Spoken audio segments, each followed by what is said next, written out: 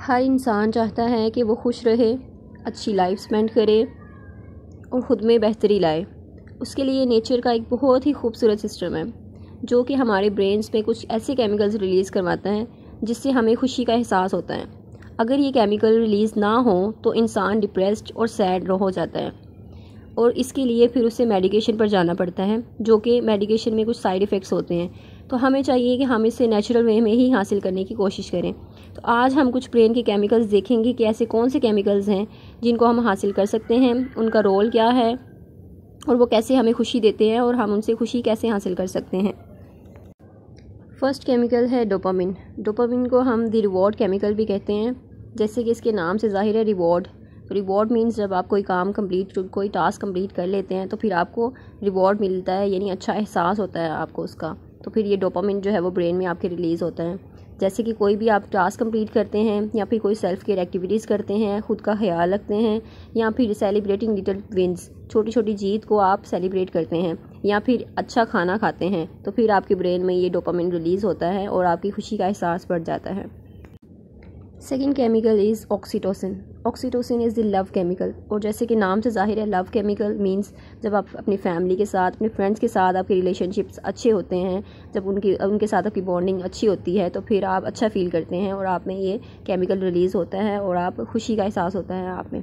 और playing with a baby किसी भी बेबी के साथ खेलना, अपनी फैमिली में holding hands hugging your family अपनी फैमिली को हग करना, अपनी मदर को हग करना गिविंग कॉम्प्लीमेंट्स और अच्छे अल्फाज बोलना या फिर किसी की तारीफ़ करना तो ये सारी चीज़ें जब आप में जो है वो ऑक्सीटोसिन रिलीज़ करती हैं, जिससे जो है वो आप में खुशी का एहसास बढ़ जाता है।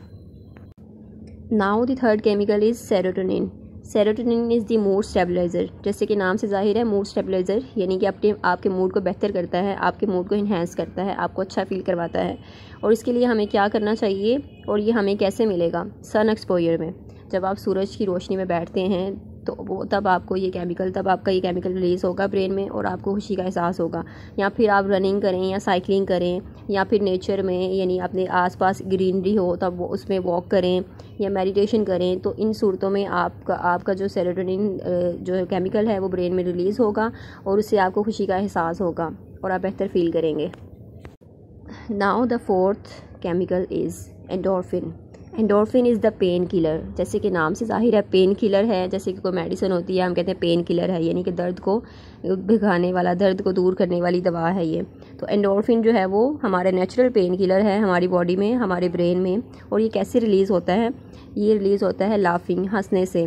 वॉचिंग अ कॉमेडी कोई भी कॉमेडी मूवी देखें, कोई फ़नी मूवी देखें तो इससे आपको जो है वो जब आप हँसते हैं तो फिर ये एंडोरफिन आपके ब्रेन में रिलीज़ होता है या एक्सरसाइज करें तो फिर भी आप अच्छा फील करते हैं या हैंगिंग आउट विद फ्रेंड्स किसी अपने फ्रेंड्स के साथ पिकनिक पे जाएँ आउटिंग पे जाएँ तो फिर ये एंडोरफिन रिलीज़ होता है और ये आपको खुशी का एहसास देता है। सो so, अब हमें पता चल गया है कि हम खुश कैसे रह सकते हैं। तो काइंडली इस इन सब पर जो है वो इम्प्लीमेंट करके इन सब पर अमल करके हम अपनी लाइफ को बेहतर बना सकते हैं। और ये छोटी छोटी चीज़ें हैं जो कि हमारे जो है नेचुरल वे में हमें खुशी का एहसास देती हैं। अगर हमें इनसे जो है वो खुशी, अगर हम ये ना हासिल कर पाएँ, ये चीज़ें ना करें तो फिर हमें मेडिकेशन की तरफ़ जाना पड़ता है, जिससे हमारी जो है वो बॉडी में साइड इफ़ेक्ट्स भी होते हैं। तो हमें चाहिए कि हम इसे नेचुरल तरीके से ही हासिल करने की कोशिश करें और खुश रहें, आबाद रहें और दुआओं में याद रखें और इस चैनल को सब्सक्राइब कर दें। Thank you